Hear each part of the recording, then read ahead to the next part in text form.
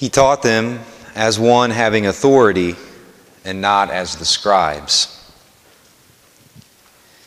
What is it about Jesus and the way that he was teaching that struck Mark, our gospel writer for today? What was it that struck him about how Jesus taught as compared to all the other teachers that had come before and those who were currently teaching in the temple? Why was it, what was it about him that led them to say that he taught as one having authority and not as the scribes? As I was thinking about that, I kind of went back in time to the seminary where I was uh, forced to read a novel.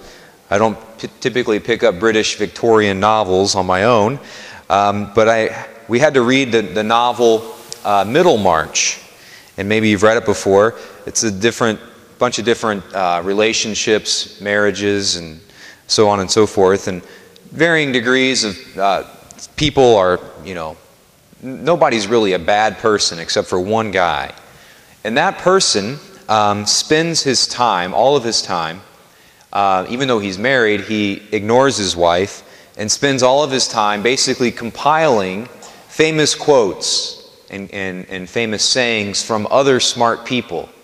He has a doc, he's a doctor himself, but he just basically he's working on this this master, the kind of the key to the universe type of a thing. But he has no unique ideas of his own. He simply can regurgitate this, the stuff that other people have said. And of course, the man passes away before he has the opportunity to actually publish his work. And as I was thinking about that, that, that character has always stuck with me because I think that in some ways it's kind of like the scribes, the Pharisees and the Sadducees. Not that they were all bad guys. You know, I mean, some of them we learn in, the, in, in elsewhere in the Gospels and in the, in the Scriptures that some of them were good people.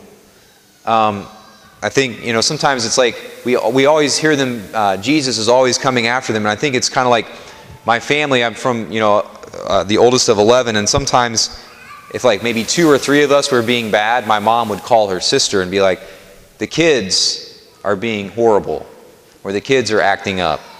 Well, she didn't mean all of us. She just meant a couple, but nonetheless. So I think that's kind of what the scribes are kind of, we hear them kind of addressed today. And while some of them may have been good people, what we see is they really had no authority to other than to simply say, this is what the law says.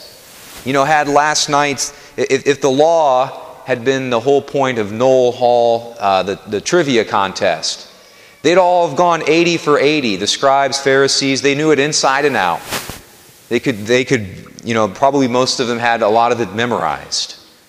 So, what is it then about Jesus that somehow takes it to another level? What is he able to do that those who can simply recite the law are not able to do? And I think that when we look at Christ and we reflect on what he talks about, he doesn't say, hey, don't forget, don't worry about the law anymore In fact, he says, I come not to destroy one single letter of it. But he also doesn't, if you look throughout the scriptures, he's not simply regurgitating the law. Don't do that because this, that's the law. He's constantly telling people and showing people the why behind the law. The why. He's saying, here's the law, but here's the reason why. And that, I think, is why so many people were moved by his teaching and found a different kind of authority in Christ than they had encountered with all the other teachers that had come along before him.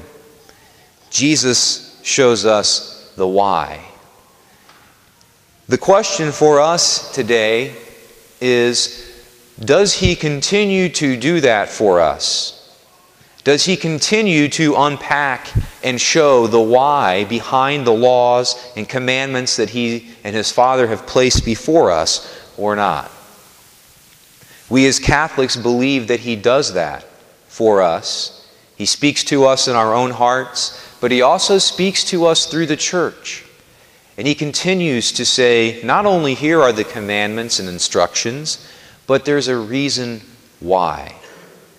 There's happiness. There's sad, there, there is happiness, there's joy, there's peace, there's sanity to these laws. And that's, Christ continues to say, that is the why. Jesus is saying what St. Paul says in today's second reading I say this to you not as a burden, not as a burden. So often we receive it that way. Do we, as Catholic Christians, believe that Christ continues to demonstrate for us and teach with that same authority that the gospel writer witnessed? Does he continue to teach us and lead us with that same authority through the church today or not? That's our challenge to see that. There are a couple of reasons, I think, or a couple of obstacles that might be in our way that would prevent us, perhaps, from kind of seeding the fact that, yes, and, yes, in fact, Christ does continue to speak to us and lead us through our church. One, of course, is that we're often hearing about that from priests or bishops, people who are already part of the machine, if you will. And so many people, you know, it's easy or a temptation perhaps to say, of course he would say that as a priest. Of course he would say that as a bishop. He's part of it. He's part of the machine or the bureaucracy or whatever it is. That's why he is trying to encourage us to see Christ's teachings still working through us and, and speaking to us through the church. A brief word about that. I can't speak for other bishops or other priests or other people who work in the church, but I can just say that for me, it's not about that. Yesterday, or Friday was my day off, and typically, what I like to do for my day off is go to my parents' house into the woods and chop firewood. That's my idea of a good time. I don't sit around with other priests and talk about, hey, I got a couple more people to buy into the church, you know. Um, I feel like for me personally, what, what motivates me, and in fact, I, I believe has brought me to the priesthood, is precisely what we hear in the first reading.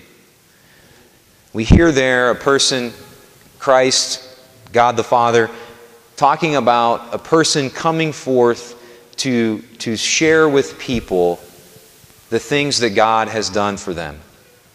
And for me, I, the experiences that I've had, I had a very real encounter, very, and continue to have that encounter with Christ and His church.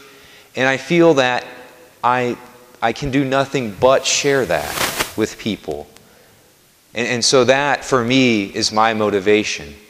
The other obstacle I think that we can sometimes encounter in terms of, you know, well, I don't know. I don't know if, if, if Christ is really teaching through the church. If those if, if that authority of Christ rests in the church or not. And I think that, that that other obstacle can sometimes be the things that people have done in the name of the church in the past, or maybe today.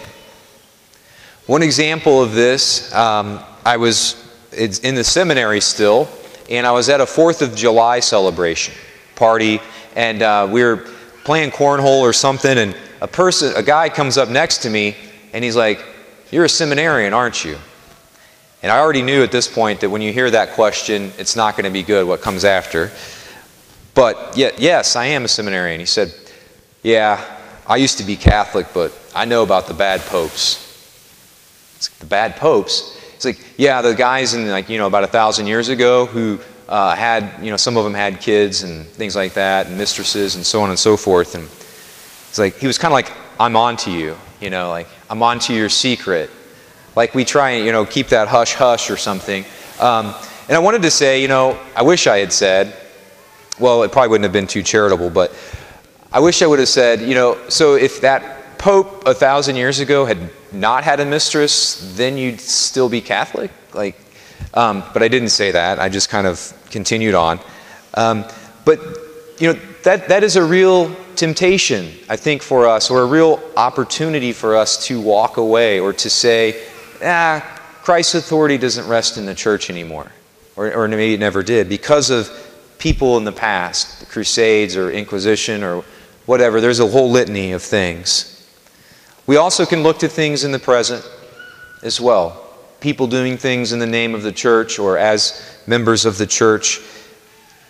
I can, I can share that with you, nothing scandalous or anything, but re- recently I was uh, lied to by a leader in the church.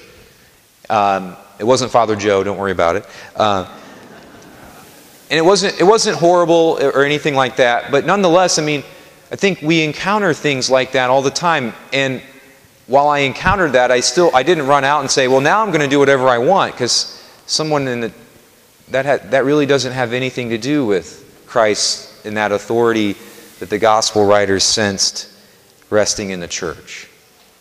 And so that I think is our challenge to overcome those obstacles and to ask ourselves, is that authority still here in the church? Is Christ continuing to speak to us through the church? To pretend that I'm self sufficient and that I don't need any moral guidance and that I don't need any instruction or help along the way, that's not to see the world as it actually is. That's actually to spiral into some form of madness or insanity.